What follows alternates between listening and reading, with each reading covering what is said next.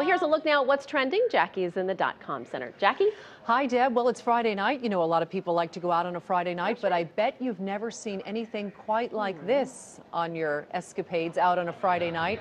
Watch how this lady stacks up not one, not two, but 20 beers. Wow. Now, the trick here is you can see these are stackable cups, and it certainly allows her to get those beers out to customers a whole lot faster. I am such a klutz, I could never do that. I'm impressed. I am is- very impressed with her. Now she gets them all stacked up. She goes into the crowd, and you have to see how the crowd just quickly plucks them off that sort of. It's like a tree almost. There's a whole system here, yeah. there is. It's the new way of delivering beer. It's very cool. Pretty neat, It's yeah. very cool.